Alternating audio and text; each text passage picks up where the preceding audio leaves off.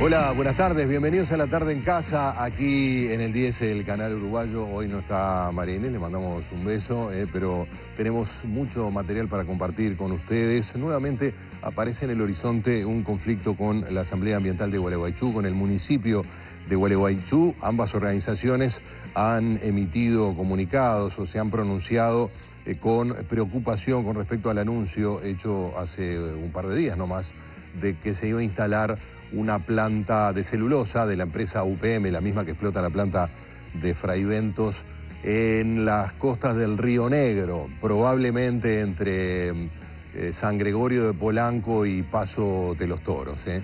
Esto, eh, no sé si tenemos por allí los mapas para poder ir viendo, para tomar un poco una idea de, de la geografía. Los mapas siempre nos ayudan a comprender los conflictos de una manera bastante más acabada. Esto, por supuesto, debe tomarse de una manera relativa porque el río eh, es mucho, cualquier cosa menos lineal, pero aproximadamente la distancia entre mm, el Paso de los Toros y la desembocadura del río Uruguay debe ser aproximadamente unos 200 kilómetros por eh, perdón, 200 kilómetros de distancia, ¿no?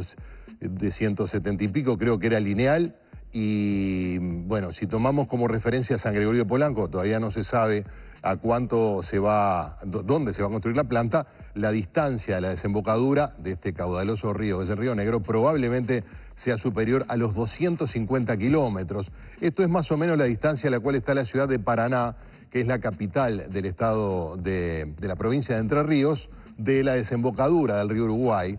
Y digo esto porque en rigor Gualeguaychú está río arriba, es decir, la desembocadura del río Negro está aproximadamente a unos 40, 45 kilómetros de la ciudad de Gualeguaychú, que es de donde han venido los reclamos. ¿no? Ahí lo estamos viendo más en detalle. Ahí tenemos la desembocadura del río Negro sobre el río Uruguay, como ustedes ven, están esa distancia, Puerto Landa, ahí está, es la referencia que pudimos tomar porque no hay población eh, establecida sobre esa zona, pues digo población, me refiero a centros urbanos. Eh, la distancia que hay entre Gualeguaychú y la desembocadura del Río Negro debe ser de alrededor de unos 45 kilómetros aproximadamente. La distancia que hay entre la eventual planta y la desembocadura del río Uruguay es de unos 250 kilómetros aproximadamente. Esto para, para ubicarnos un poco en, en, el mapa con relación al, al aquello de lo que estamos hablando. Ha habido declaraciones eh, de gobernantes, de, representantes diplomáticos de Argentina, también del gobierno uruguayo con respecto a que se va a seguir eh, adelante tratándose de, bueno, territorio uruguayo, ahora está en el medio de la República Oriental del Uruguay, lo dijo el presidente Vázquez, Uruguay no le va a pedir autorización tratándose del territorio nacional ni a Brasil ni a Argentina, pero de todas maneras la Municipalidad de Gualeguaychú aseguró que aunque la nueva fábrica se instale en la cuenca del Río Negro, como desemboca en el Uruguay, igual se verán afectados y exhortan a que el presidente Macri o el gobierno del presidente Macri tome cartas en el asunto. ¿eh? Estamos en contacto con José Pouler, que es integrante de la Asamblea Ambiental de Gualeguaychú. ¿Cómo le va, Pouler? Buenas tardes. Buenas tardes, Gerardo. Buenas tardes, la audiencia. Un gusto estar con ustedes. Bueno, ¿cómo, cómo viene la cosa por allí? Con respecto... No, lo que vos haces es una descripción real de una persona que no está metida en el tema. No con esto quiero ofenderte nada por el estilo. No, no, no, me ofende para nada. No, sino que en realidad sabemos que la contaminación existe, sabemos que avanza un río de 250 kilómetros, el cual la desembocadura está alrededor de 30 kilómetros de la planta de UPM, y sabemos que el río Uruguay tiene reflujo muchas veces en el año, con el cual el agua sube, o sea, no baja al río la Plata, sino que sube hasta que deja de soplar el viento sudeste, la famosa sudestada, y ahí sí corre normalmente. El hecho de cómo se opone la municipalidad y un grupo de asambleístas, digo un grupo de asambleístas porque yo soy integrante de la línea fundadora de la asamblea, y nosotros nunca hemos hecho comunicado hasta no reunirnos en la asamblea. Acá hay declaraciones de un par de personas que han asumido ser voceros de la Asamblea, pero en realidad no hay un comunicado. La municipalidad sí hizo un comunicado en el cual Piaggio, el nuestro intendente, eh, manifiesta que va a ser afectado Y yo creería que sí, más en el hecho de que las declaraciones, tuve una reunión con gente de la CARU, delegación argentina, hace un par de semanas, donde nos muestran que una planta de 1.100.000 toneladas, la contaminación que tenemos. Y bueno, en base a esto, a declaraciones que hizo Tim en su momento, en un enojo allá por el 2013, octubre de 2013, no sé si se acordarán ustedes. Sí, claro. Con Uribarri al lado como un monigote parado, como un payaso, nunca efectuó eh, lo que debía avanzar, que era ir nuevamente a la Haya, porque lamentablemente no hubo un impulso de Uribarri ni del Congreso. Pero... ¿Y por qué cree que ocurrió eso? Porque si hubiera pruebas de contaminación se iría corriendo yo creo que no es tan así, yo creo que los que realmente mandan son otros, no los gobiernos constituidos, en mi opinión, por supuesto, y a veces hay cosas que no se pueden hacer. Esa es la triste realidad en todos los gobiernos, sea en tu país, en mi país, en todos los países sudamericanos. Acá cuando ocurrió el Plan Cóndor, no fue unos militares locos como los de Turquía, que por su cuenta intentaban hacer algo, sino de que había un plan premeditado, como lo ha sido el plan forestal también. Recordemos que este plan se largó en la década del 50, del 60, y con el tiempo eh, dieron los créditos para forestar tanto en Uruguay como en Argentina. Uruguay, en ese momento, año 87, a través de la Nata hacia la publicidad, vendía parcelas forestar en Uruguay para después quedarse sin pagar impuestos y demás. O sea, fue más ingenioso el sistema que hizo Uruguay para tener aliados que el que hizo Argentina. O sea que hay un complot, digamos, eh, mundial contra Gualeguaychú, porque Buenos Aires no se interesa. el gobierno de Paraná no se interesa en el tema. El gobierno uruguayo tampoco. Los delegados argentinos en la CARU, teniendo las pruebas, no se las dejan publicar, eh, salvo en Gualeguaychú, en el resto del planeta están todos de acuerdo que es una planta modelo. Bueno, yo primero principal, si vos me vas a cargar con eso del complot, no, no. Yo creo eh, que te voy a empezar a cargar también, si yo estamos hablando en serio. Pero que usted empezó no, con el complot. me está eh, cargando. no, no, pero usted dice que hay un... Que una charla seria. Pero es que es seria. Lo que pasa es que usted dijo que los gobiernos no pueden hablar porque están en manos de, de poderes extranjeros. Yo le digo que en todo el mundo, literalmente en todo el mundo, incluyendo la República Argentina, incluyendo la capital del estado Paraná, menos en Gualeguaychú, a nadie más se, acordó del tema de las plantas.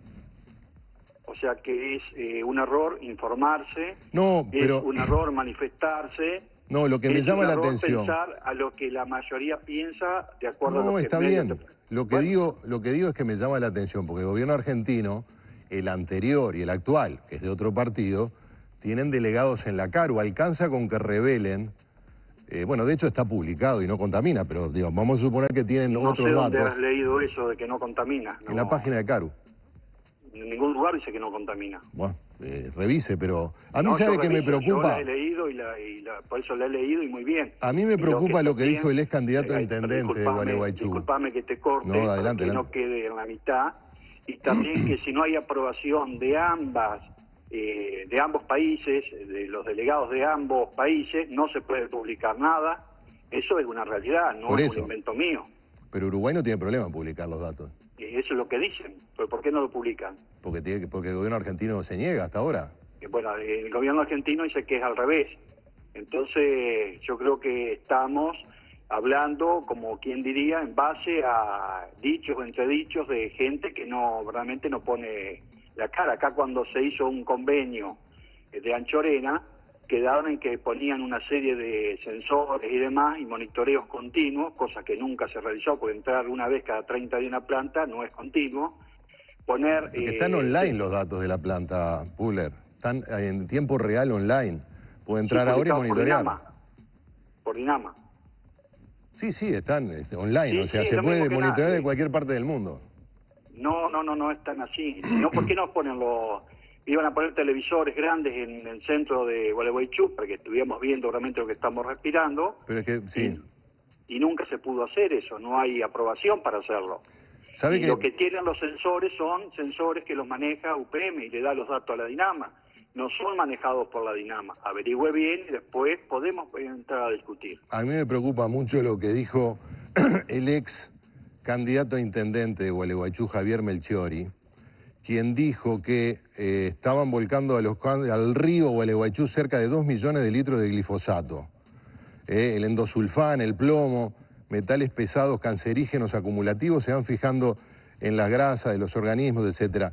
¿Han logrado combatir la brutal contaminación del río Gualeguaychú, que desagua en el río Uruguay? No, imposible. Imposible te explicar por qué. Vos de hoy le estás dedicando un tiempo porque es un tema de actualidad eh, vos tenés un grupo de gente que trabaja con vos, que te baja la información y demás, vos salís a hablar, pero vos tu tiempo vale, nuestro tiempo es gratuito. Sí. Vos imaginate la cantidad de años que venimos poniendo nuestros vehículos, nuestro dinero, nuestra familia, entonces llega un momento que vos no podés combatir contra todo. Entonces medianamente tratamos cuando hay alguna información y algún periodista como vos quiere compartirla, con mucho gusto podemos hablar pero no podemos estar luchando, pues todo, todo es dinero. Y lo que vos decís es real, eso es, eh, eh, asesino lo que están haciendo con el glifosato. Claro. Pero han tomado alguna medida ustedes? Porque esta planta eh, se va a hacer a 250 kilómetros de la desembocadura del río Uruguay. son plantas de última generación, es la tecnología que se utiliza en Europa, es decir, la tecnología más moderna del mundo. Y tienen en las costas de la ciudad de Gualeguaychú una verdadera cloaca a cielo abierto. Y, no sé si se movilizan en Gualeguaychú. Es una pregunta que le hago. No, eh, yo te voy a contestar porque de la forma que vos lo decís parece que lo único que nos interesa a nosotros... No, lo dijo el ex, candidato a intendente. Yo repito lo que dice ellos. A mí no me consta. Yo por eso le pregunto a usted. No, no, yo no creería que sea una cloaca a cielo abierto, que sí están trabajando con los agroquímicos y con los fertilizantes que lamentablemente perjudican la salud, el glifosato y demás, eso es una realidad, que hay gente que está luchando contra ellos, que han salido algunos fallos tribunales como en Córdoba, en el cual prohíben eh, fumigar en un radio cercano a los 10 kilómetros, por ejemplo, de zonas pobladas o escuelas rurales, es una realidad. Acá lamentablemente no se puede lograr eso, todavía no se ha logrado. Pero de ahí el más, eh, tratamos siempre de concientizar a la gente porque todo esto de la contaminación, lamentablemente, hasta que no pasen muchos años, vos no vas a saber en qué, eh, en qué patología termine de acuerdo a los diferentes seres humanos, pues todos somos diferentes, son los efectos que lleva adelante. Vos fíjate, si lees del mar Báltico, donde están la mayoría de las papeleras, por la cantidad de dioxinas y furanos, recomiendan a la gente joven no consumirlo porque le produce embarazos prematuros y una serie de patologías bastante complicadas para la salud. Bueno, pero hay que ¿Embarazos prematuros? Eh, el embarazo no, aborto, aborto, prematuro, ah, perdón, perdón, aborto prematuro, perdón, me equivoqué. Mm. Eh, ¿Qué piensan tomar alguna medida en, concreto, Puller? En principio, nosotros nos reunimos los miércoles, eh, se reúne la asamblea y la nuestra, que es la línea fundadora, que es un grupo que opinamos diferente a los voceros, por así decirlo, nos vamos a reunir este miércoles, analizaremos las medidas y veremos los pasos a seguir, pero a nosotros lo que más nos preocupa sigue siendo la no información de los datos que hay de la pastera. Ahora vos viste que había un laboratorio que se iba a instalar, que estuvieron de acuerdo los presidentes, abajo de lo que es el puente internacional San Martín, y los cancilleres salieron a decir de que eso se posterga. Como se vienen postergando todas las cosas que son necesarias para realmente saber cuál es el grado de contaminación. Ojalá, ojalá vos tengas razón y todos los que confían en este tipo de plantas tengan razón. Nosotros tenemos otro tipo de información, porque la información eh, depende de donde uno la lea, es lo que dice, y ese tipo de información en base a experiencias en otros países nos dice que al cabo de 30, 40 años los desastres que hace son irreversibles. Por ah. eso es nuestra lucha. Sí, está bien. ¿Han tenido o han pedido alguna entrevista con la delegación argentina ante la CARU por este tema o con algunas autoridades? No, la delegación argentina recién se constituyó hace tres semanas la, o la nueva, claro. La nueva. La vieja sí, bajó a Gualeguaychú, son la mayoría del norte de la provincia, y nos dijeron todas las deficiencias que había y cómo las fueron compensando a través de ampliaciones de grados de temperatura, de volcado de fósforo y demás, para que funcionara UPM.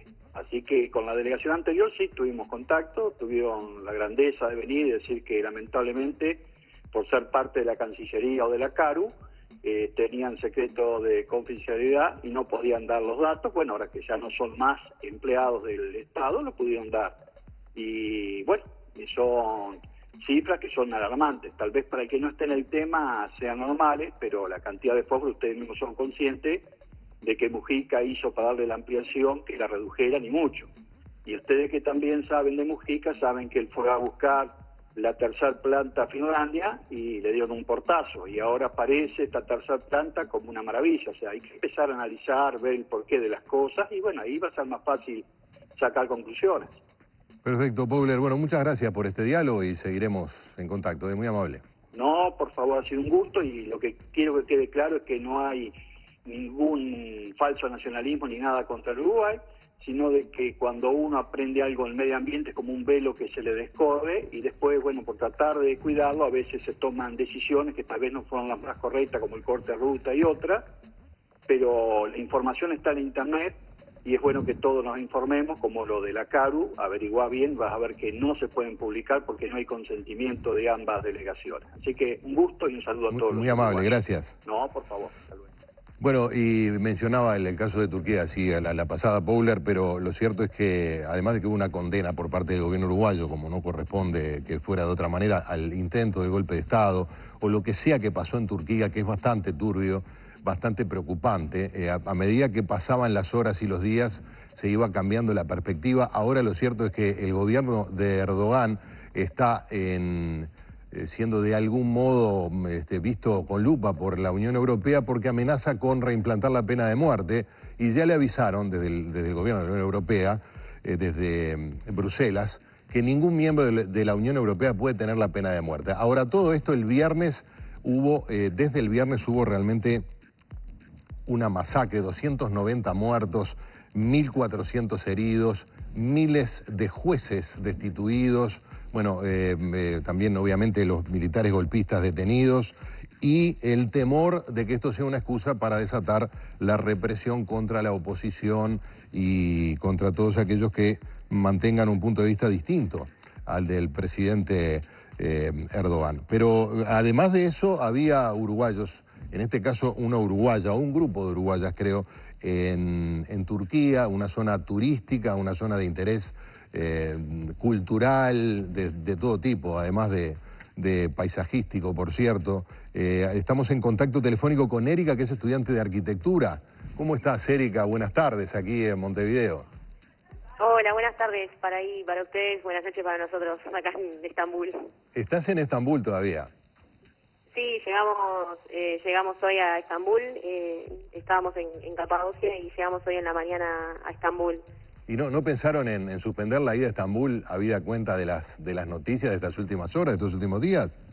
No, en realidad, eh, como yo le comentaba a una de, las productoras, eh, en realidad el, tema del golpe nos agarró saliendo de Estambul, nos agarró en el puente de salida y bueno, pasamos básicamente casi todo el tiempo eh, acá en, en, Estambul, o sea, en Capadocia no pasó nada. Ah, estuvieron en el, día del golpe, estaban en Estambul. Sí, sí, estábamos, estábamos acá en Estambul, o sea, parece que todo había empezado en la tarde y nosotros a eso de las 8 de la noche salíamos hacia, hacia Capadocia y nos agarró en la mitad del puente. Eh, no entendíamos nada porque, mm, ¿cómo es?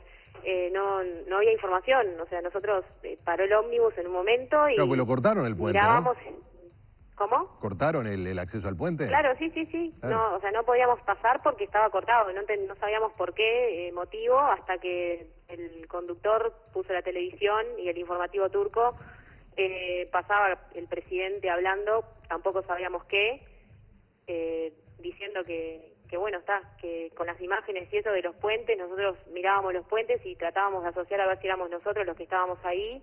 Y después también la familia que mandaba mensajes preguntando dónde estábamos, que había un golpe de Estado, pero nosotros no teníamos ningún tipo de información más que estábamos parados en la mitad del puente. Claro, eh, ¿cuántos son en el grupo?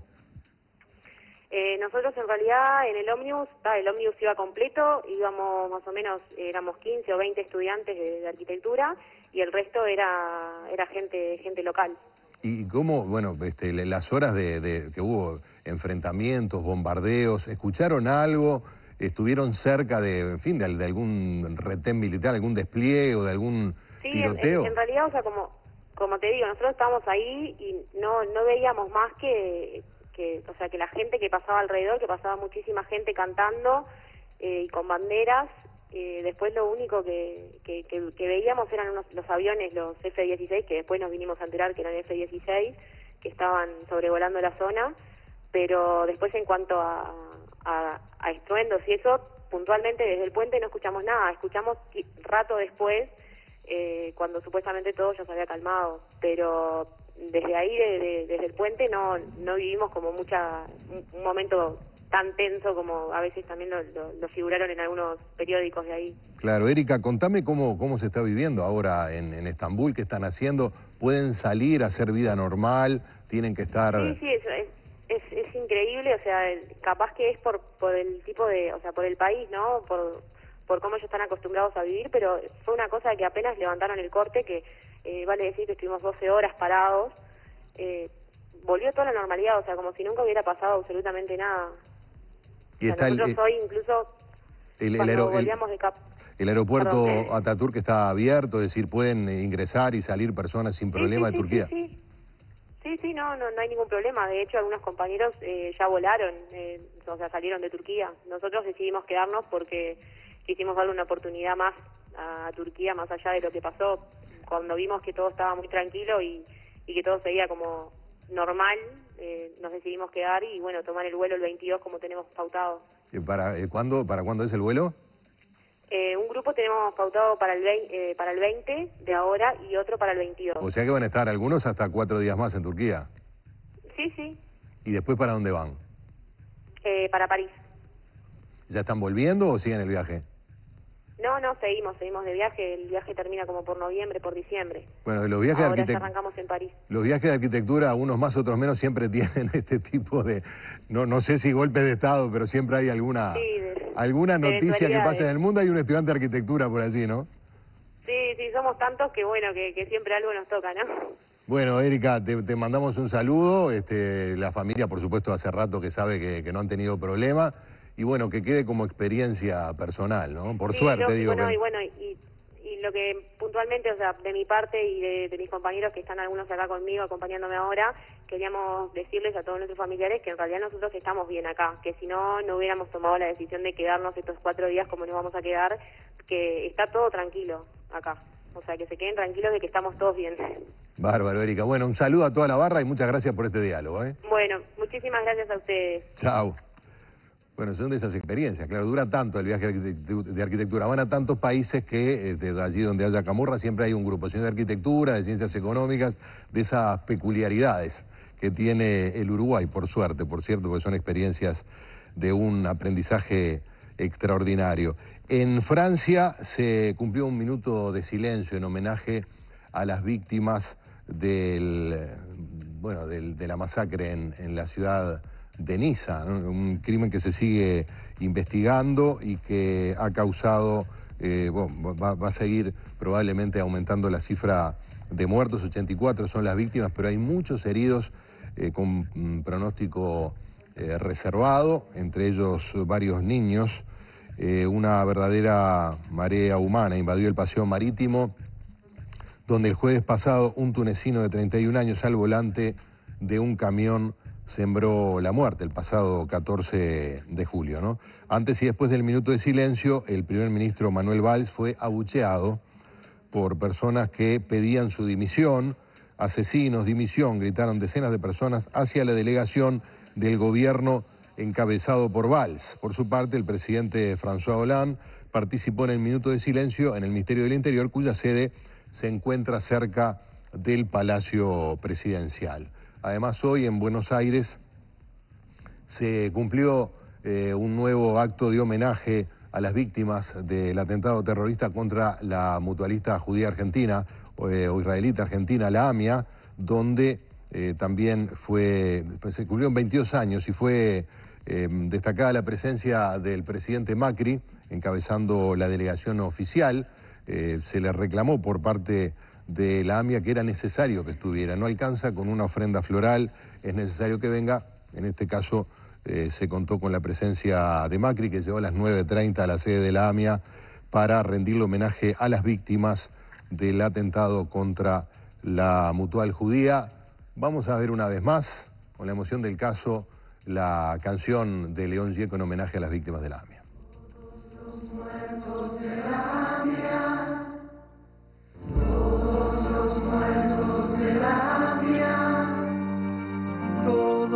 Los muertos de la AMIA, todos los muertos de la AMIA, los de la Embajada de Israel,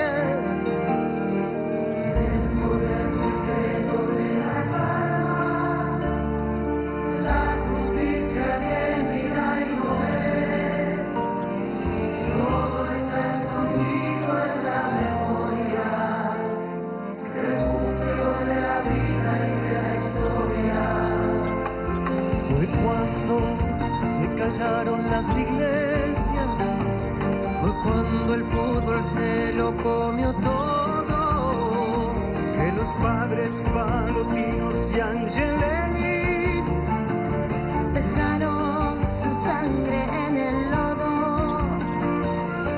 Todo está cargado en la memoria. refugio de la vida y de la historia. La memoria ensaya esta veces. A los pueblos que la aplastan y que no la dejan ser. Libre como al viento, libre como el viento. La bala Chico Méndez en Brasil. 150 mil guatemaltecos. Los mineros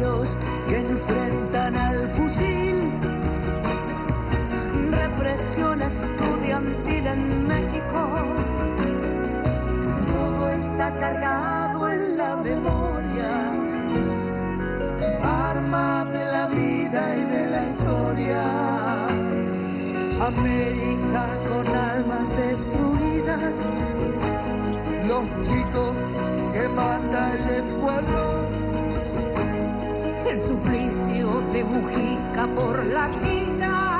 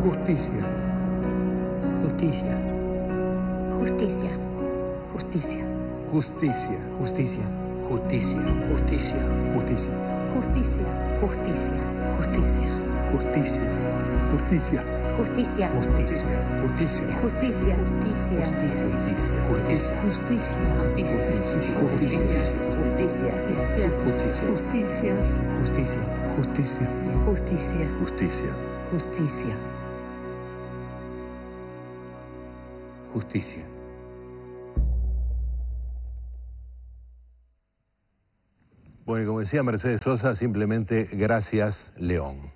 Eh, usted se puede comunicar con nosotros a través del mail latardeencasa.canal10.com.uy, el Twitter arroba la tarde en casa, Facebook, el perfil La Tarde en Casa o el número eh, para comunicarse por WhatsApp 093566355. Miren, el tema que viene no es mucho más agradable de lo que hemos tenido en estos últimos minutos, pero es conveniente hablarlo. ¿eh? Eh, un septuagenario fue enviado a prisión por abusar sexualmente de sus bisnietas. Esto a pocos días de que se conociera un caso horrible eh, en, el departamento de Rivera. Hay cerca, tenía la cifra por allí, de cómo ha ido aumentando los casos de denuncia de abuso sexual contra menores. Eh, en el 2014 se registraron 24 víctimas. Se registraron literalmente, las víctimas seguramente sean muchas más. En 2015 fueron 39 y en lo que va del año la cifra llega a 20. Del total de menores sometidos a abuso, 68 eran niñas y 15 niños. Vamos a hacer una pausa, después vamos a dialogar con Andrea Tuana, trabajadora social de la ONG El Paso, y con Fabiana Condon, psicóloga, de la misma ONG para intentar saber un poco más de este eh, fenómeno terrible que se está registrando lamentablemente eh, con cifras crecientes aquí en nuestro país. Hacemos una pausa, seguimos compartiendo la tarde en casa.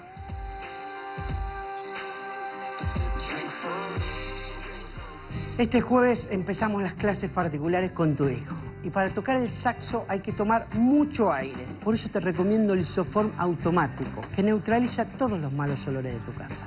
Lisoform, cuida lo que querés.